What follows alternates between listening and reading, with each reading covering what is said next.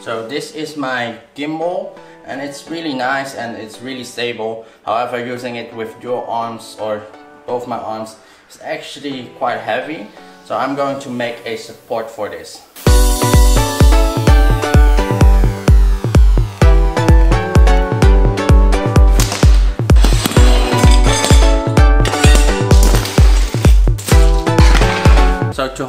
Entire support you need a backpack. It's a uh, tactical backpack that I'm using and it has a hole on top because this uh, can contain a camel bag. So having this hole on top you can put the frame through it and also make it hold the frame better than uh, letting it go through the yeah zip. So for the frame itself I'm using V-slots. So these are uh, metal rails that actually makes it quite easily to build up anything that you want so I'm going to use these for the framing it's not extreme cheap but at least it's much better and also more pleasant to look at than uh, PVC pipes. So how does the overhead camera support work? So this is a measuring tape and it goes up inside automatically because there's a spring or a coil inside but this is not going to be strong enough for it. So to make it work, we need a spring balancer. This one is measured at 1 to 3 kilograms and this will easily hold up the gimbal. So the first part I'm going to show you is this. This is the frame that is going to be inside of your backpack. This size can differ because this is going to be the width of your backpack and uh, this is going to uh, yeah, hold the frame from rolling too much. And the reason why there is like three tubes in here is between here we're going to put the third one. And if you notice this will be able to slide in and out. So the backpack can be adjusted to the person's height. This spring balancer only has like a certain length so we are going to extend the cable of this.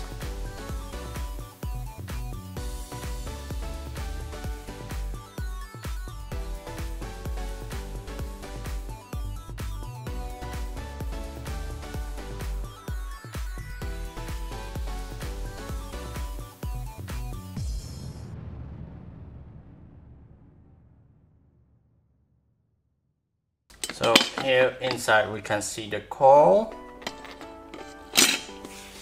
and first things first just remove this cable. I'm going to replace it with a dark green washing line cable with a metal wire inside. So this is a noose where when it pulls it's going to be tightened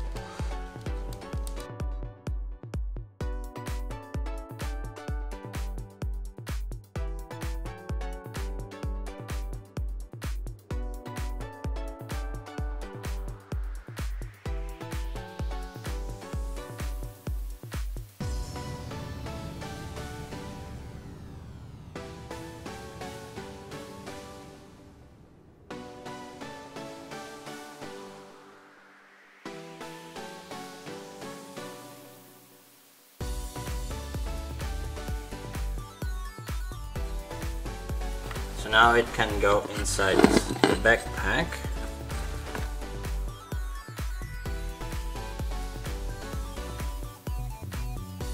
There we go.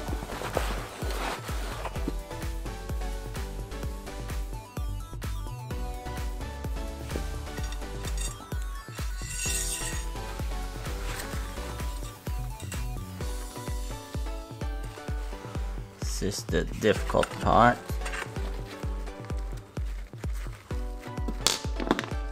Get it aligned.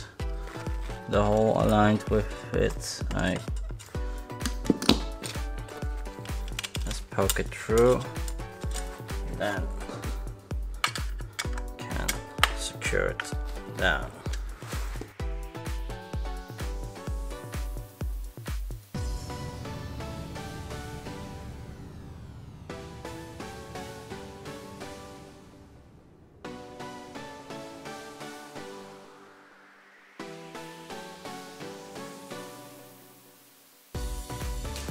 this is going to guide this cable. This is the end part and I've already put a roller inside of here because that is really hard to do. Plus it needs several um, spacers so this doesn't move a lot. It's going to be the bottom because through one of the holes the cable will come out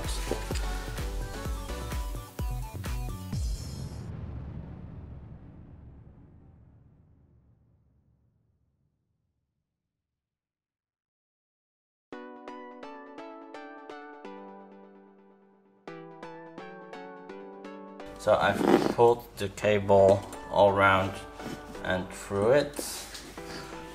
So to secure the cable it needs to be tensioned.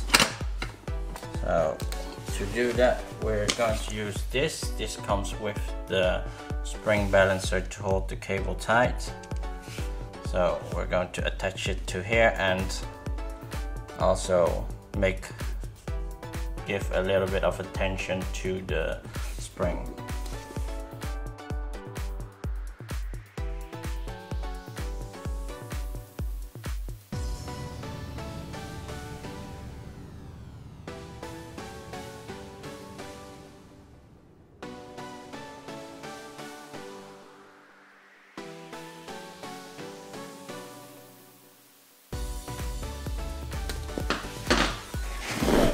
That's secured, now the cable is more tightened so it doesn't want to get off this unless you're going to pull on it.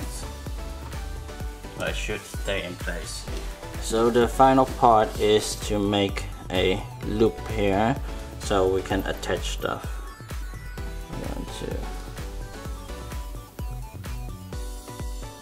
make a loop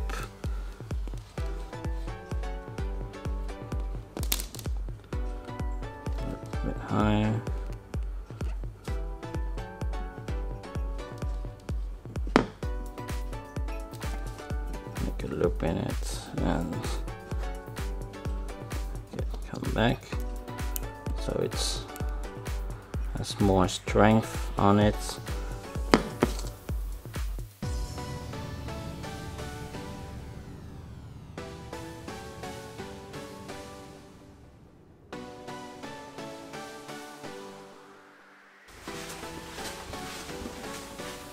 So here you can see me using the overhead support and it works.